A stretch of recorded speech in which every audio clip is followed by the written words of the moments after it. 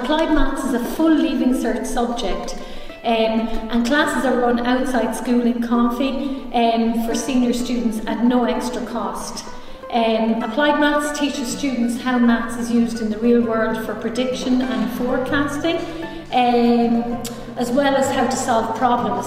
That's probably the most important thing. Past pupils studying maths, engineering, science, chemistry, um, business have all come back and uh, told me how relevant uh, applied maths has been for them in college and how beneficial it has been that they studied it in school. So it's a very useful subject as well.